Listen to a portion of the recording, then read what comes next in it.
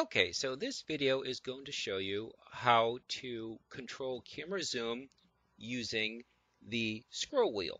So there's two basic ways of doing this. One, if you click on the camera and you look at the various components in the inspector, you'll notice one that says field of view. You can see the camera preview here. Watch what happens when we shrink the field of view.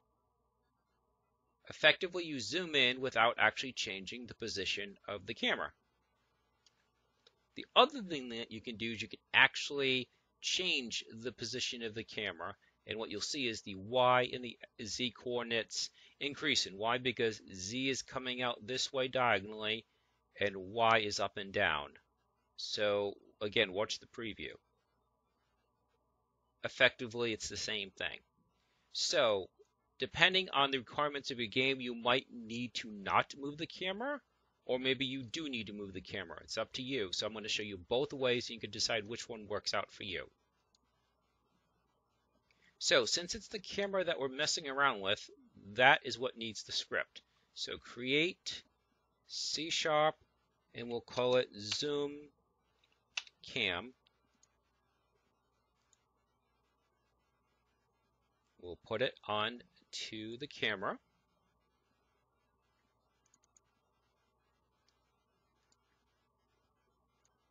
And in the update section, because every single frame we want to check to see if you're trying to zoom, we'll put this in.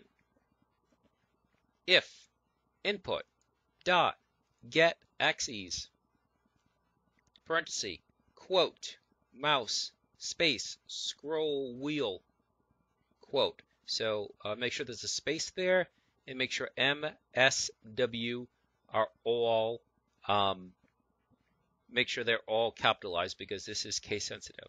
So if the scroll wheel is greater than zero, and if you're scrolling up, it's greater than zero, we want to be able to zoom in. So, oops, sorry about that. My cursor jumped. So we said get component, and we said the camera component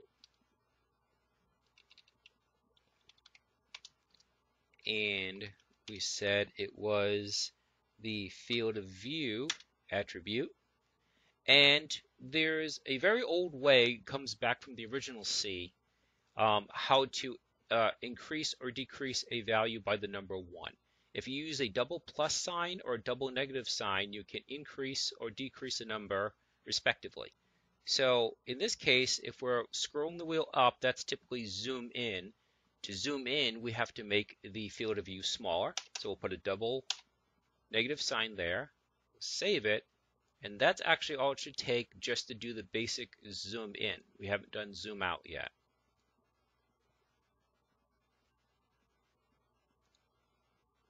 So I'm going to scroll the wheel, and there we go, zooming in.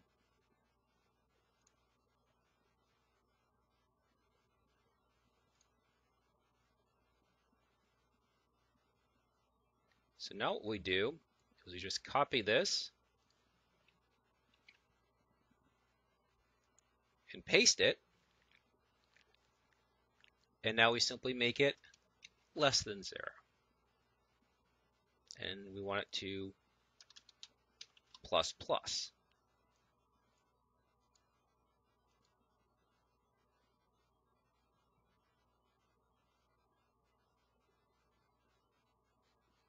So as you can see, it now zooms in or out.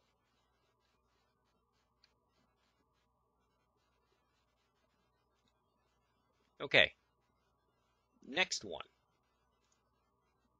What we'll do so we can just remark that out. Double slash turns it into a remark. That way you don't, rather than deleting code, you know, a game like, depending on what kind of game you're working on, but presuming it's a relatively small game, you don't have to worry about a little extra code in there that you remarked out. It's not like you have to save space, so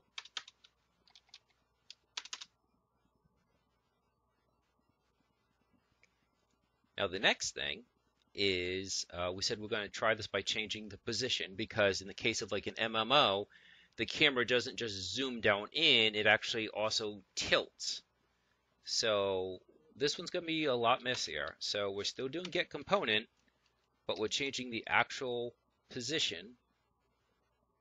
Oops, sorry, it's transform is the name of the component.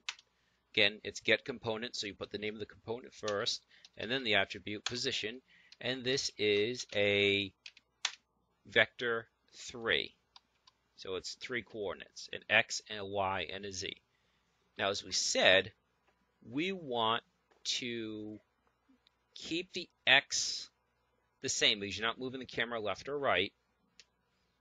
You're moving the camera vertically up and down, or you're zooming in along the z-axis. So this is going to be a little messy. Basically, we have to look at your current position, extract x, not change it, extract y, change it, extract z, and change it. So the way you extract values, uh, like a single vector from a, a, a variable that is multiple vectors, well, in this case, it's transform, and its position, like as it says over to the left there, but we only want the x. So we what we're saying is the the when you use the scroll wheel, the new position should have an x position that is the same as the current. So keep the current x position the same. So now we're going to extract the y position from the current position, but that one, so if we're scrolling in, then we really want y to be lessened. Now we can't just use minus minus here because that would drop it by a whole unit, which is too much. Let's change it by say minus, let's say 0.3 f. So that's the x coordinate, the y coordinate, now the z coordinate. Again, transform dot position dot z and this one is actually positive because you're moving positively towards the character. Now that would be um, so plus we'll also use 0.3. So it looks horrible, but keep in mind it's really the same concept repeated twice. You've extracted the y, the x coordinate, you've extracted the y coordinate, and you've extracted the z coordinate, but you're modifying them uh, differently. This has no modification. This has a 0.3. This has a 0.3. You might find that you actually have to change these at different amounts. That's relative to your game.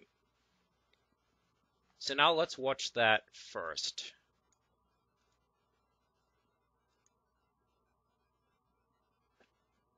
And again, you're zooming in. So in this case, it looks like you're probably zooming Z a little bit too much, or you're zooming uh, Y not enough. So let's make that more like 0.2. Now, it might not seem like much of a difference because there's only 0.3, but you've just changed it by one third. So keep that in mind that sometimes changes seem small, but they're actually quite substantial. See, now you're going right to the center. So it makes a big difference. Now just rinse and repeat.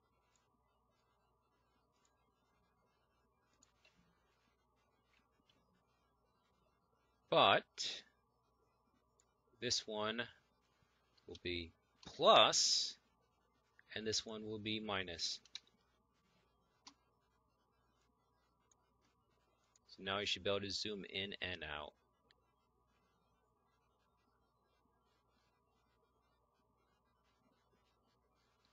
So far so good. But like we said, in an MMO, usually the camera doesn't just zoom down on top of you like that.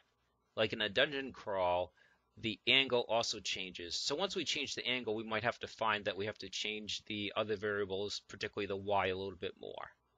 All right, so now we're going to build on this. So now this is going to be transform dot rotate and what transform.rotate does is it's a relative command. It says whatever the current rotation is, change it by this amount. It, it also is a vector 3. So in this case, it is the x that you want to rotate on. So if we'll try this, and if it's the wrong direction, we can fix it easy enough. So we don't want to rotate x, uh, excuse me, we don't want to rotate y, we don't want to rotate z, we want to rotate X. Save it.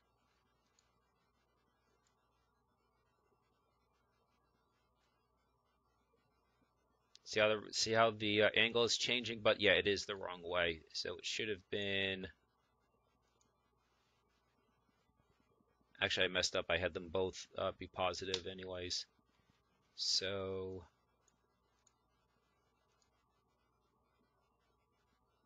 Again, we're going to zoom in. And there we go. So that's much more uh, MMO-ish. Um, now, it, as I said, once we started changing the angle, we might have to change the other ones, and you can see that, yeah, we need to drop Y much faster. So let's make that 0.6. And remember, if you make a change to one, you have to make a change to the other. So these should be complete inverses.